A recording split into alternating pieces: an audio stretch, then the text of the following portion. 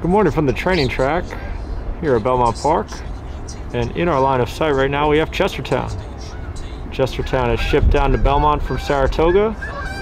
Here under the care of Toby Sheets now, and we are in preparation for the Empire Classic.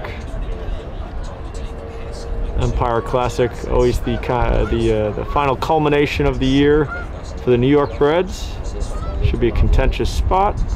Likely going to have to race against the likes of Mr. Buff and a few other older horses, but Chestertown doing well here at Belmont. Galloping by us now.